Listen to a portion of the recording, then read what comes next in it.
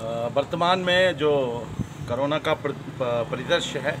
उसमें अभी भी अधिकांश लोग लॉकडाउन का वायलेशन कर रहे हैं और इसका पालन करने के लिए श्रीमान पुलिस अधीक्षक महोदय के निर्देश के पालन में एक हम लोगों ने एक छोटा सा नुक्कड़ प्ले किया हुआ है और जिसके तहत यमराज आते हैं और वो लोगों को समझा रहे हैं कि वो लॉकडाउन लॉकडाउन का पालन करें।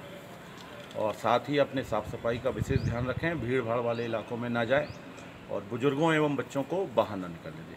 इसी के परिप्रेक्ष्य में थाना माधवनगर क्षेत्र में अभी हमने प्रयास किया है और इसमें यदि सकारात्मक परिणाम मिलेंगे तो हम उसको आगे भी बढ़ाएँगे।